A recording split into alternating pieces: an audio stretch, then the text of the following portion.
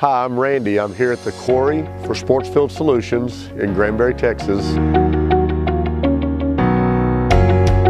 Our engineered line of ball field clays are very specified with sand silt clay ratios, particles of sand and their sizes, the minerals that are blended into it in a homogeneous blend that are very consistent, tested and duplicated at a very high level of collegiate sports and professional sports.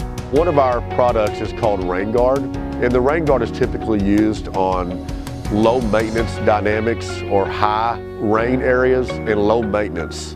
Uh, not the most desired infield mix, but it's utilized whenever there's a low maintenance capability, but a higher expectation to prevent rainouts. Our stable clay product is a product that doesn't have any stabilizer in it. It's a purely natural, non-stabilized infield mix using organic particle sizes and our natural clay that we quarry here in Granbury for a higher level than the extra strength, but without the stabilizer in it to prevent less compaction in a drier climate.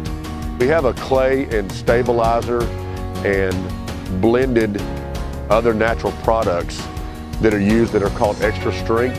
And those are kind of a hybrid to playability and low maintenance. A little higher level requires a little more maintenance, a little more shaping and grooming of the field in between games, but it has a higher rain tolerance.